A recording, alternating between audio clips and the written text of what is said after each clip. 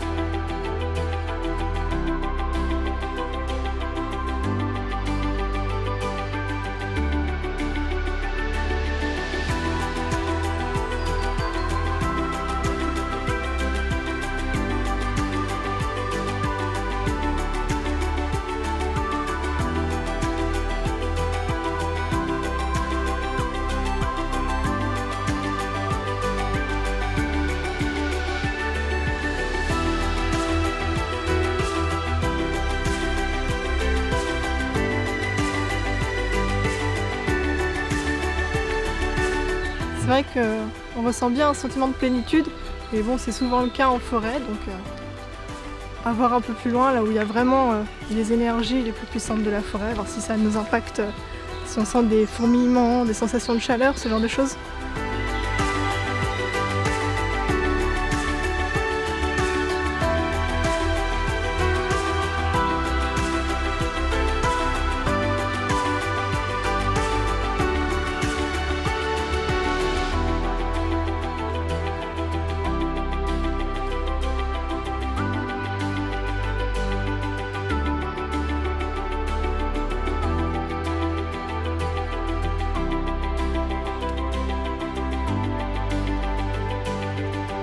C'est marrant toutes ces cabanes un petit peu partout, ça fait vraiment euh, forêt habitée par le petit peuple. On s'attend à tomber sur un elfe à tout moment. Bah, les voisins ils sont plutôt cool ici. hein.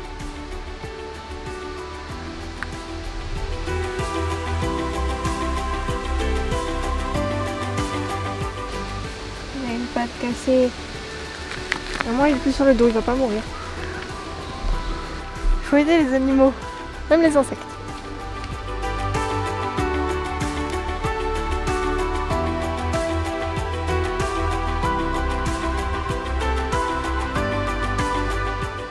Forêt, on retrouve un endroit qui s'appelle la Thébaïde. Il s'agirait d'une zone isolée et sauvage, où l'on vit dans l'austérité et la solitude. Un lieu idéal donc pour se retirer et méditer.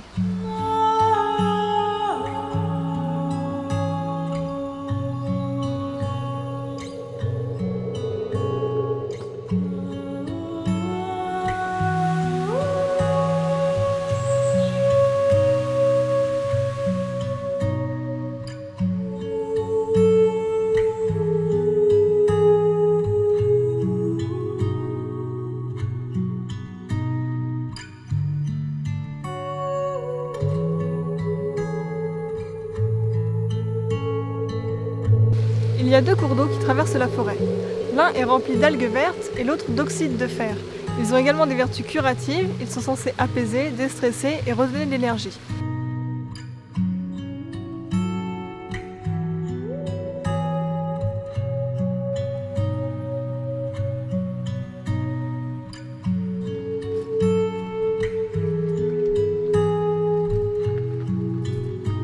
Que l'eau de l'étang possède également des vertus curatives. Elle serait en effet capable de guérir l'eczéma.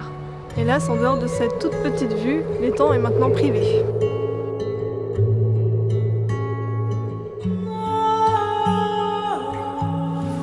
Je crois pas que c'était un chemin.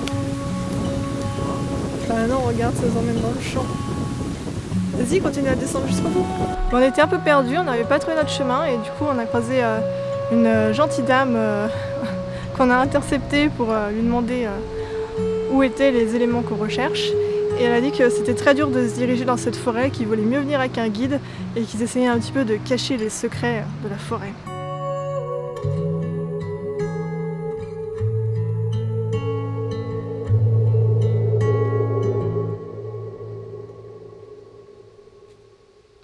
Du coup, dans cette forêt de Valin, on était censé trouver un haut lieu énergétique qu'on appelle le fauteuil du Seigneur. Mais on a marché pendant plus de 3 heures et demie dans la forêt, on a essayé tous les sentiers, mais c'est complètement inaccessible, c'est fermé. Il y a un portail, il y a des panneaux propriété privée, il y a du fil barbelé. Bref, aucun accès au fauteuil du Seigneur. On est venu là pour rien. Pourtant, c'est le lieu emblématique de la forêt et je vais vous expliquer un petit peu euh, en quoi ça consiste. C'est un grand fauteuil de pierre qui euh, serait un ancien lieu de culte druidique qui se situe à la sortie euh, d'un courant tellurique. Du coup, quand on s'assoit dessus, on ressent des picotements ou des sensations de chaleur. C'est un endroit propice du coup pour le magnétisme ou les guérisons. Et à l'époque, c'était pas rare d'y croiser des chamans, des druides, des magnétiseurs, des guériseurs ou simplement des adeptes d'ésotérisme venant tester les énergies du lieu. Mais plus maintenant. Il paraît aussi que le lieu affole les boussoles, c'est pour ça qu'on était venu avec euh, une boussole, même avec le pendule. On voulait faire euh, les fameux tests dont on a parlé au début de la vidéo et que du coup euh, on n'a pas pu faire. En tout cas, c'est un petit peu frustrant d'être venu jusqu'ici pour au final ne même pas voir l'endroit le plus emblématique de la forêt, même si c'est un endroit charmant et qu'on a quand même fait une bonne balade. On a quand même fait de la route, on a beaucoup marché et on s'est retrouvé face à une porte complètement fermée, donc on est un petit peu déçus. C'est un peu comme si on arrivait à la forêt de Brocéliande et qu'on nous disait non, le vol sans retour et le tombeau de Merlin, maintenant c'est fermé. C'est dommage, un lieu énergétique comme ça que la planète nous offre, ça devrait être accessible à tous euh, et pas euh, une propriété privée. Après, si des êtres humains ont fait n'importe quoi, ils vont commencer à dégrader le lieu, je comprends que ce soit fermé et ça montre une fois de plus à quel point la race humaine est stupide et dégrade euh, tout ce que la nature nous offre. Après, il y a plein de témoignages quand même sur ce lieu où euh, des gens ont été guéris de leur eczéma, de leurs problèmes de peau, de problèmes de fertilité et même de cancer. Et puis il y a plein de légendes sur euh, les Templiers et les druides qui seraient passés par ici.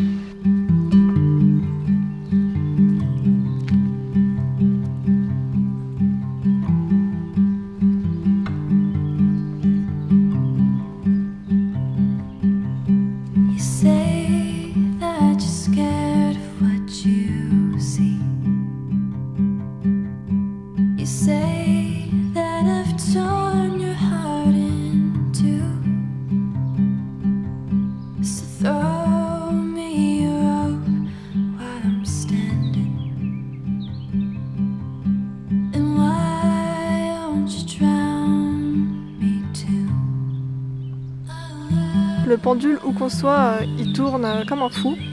Donc euh, je pense qu'il y a vraiment un magnétisme très puissant dans cette forêt. Et ça vaudrait peut-être le coup de revenir pour faire quelques tests de radiesthésie ici. On a terminé notre exploration dans la forêt druidique de Valin. Mais on n'a pas tout vu, du coup on aimerait bien revenir avec un guide, avec Louis Chavreau. Donc si des fois vous le connaissez, si vous savez comment le contacter, dites-le nous, qu'on essaye de rentrer en contact avec ce monsieur pour lui demander d'accéder au fauteuil du Seigneur et euh, qu'il nous raconte un petit peu euh, l'histoire du lieu. En attendant, j'espère que cette vidéo vous a quand même plu. Si vous connaissez des endroits énergétiques où on pourrait faire des vidéos, euh, partagez-les nous aussi. comme ça, ça nous fera des petites explorations à faire. ça change de nos Pagan Facts en studio. Et si la vidéo vous a plu, n'oubliez pas le petit pouce en l'air, un petit commentaire et on se retrouve très vite dehors ou en studio, on verra bien, pour des nouveaux Pagan Facts. Salut feel something